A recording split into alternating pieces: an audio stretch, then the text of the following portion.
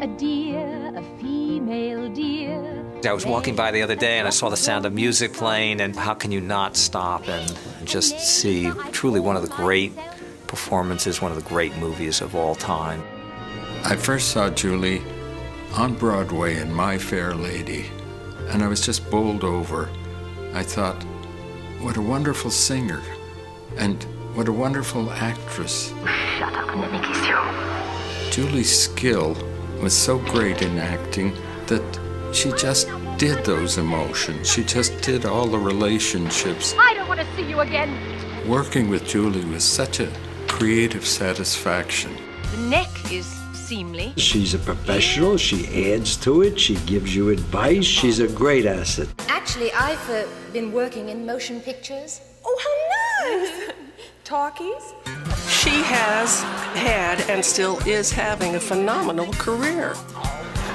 She just keeps going and doing and writing with her daughter, which I think is fantastic. Some boys can walk. That's what keeps her so vital and so young. I don't think she's going to ever stop, nor do I think she should. She has so much talent and so many good ideas. How very.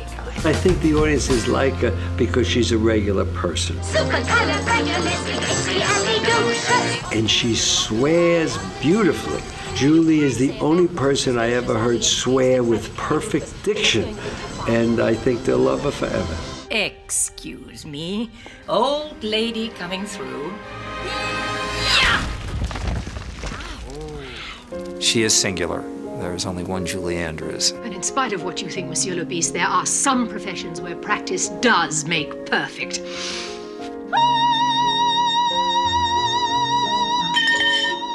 She has given me and so many people so much in joy and happiness and entertainment, and we are a better world for having Julie Andrews here. Julie, Julie, Julie, when are you going to stop winning all these awards? Somewhere in my youth. Oh, child. Anyway, congratulations from my bottom of my heart. I must have done something.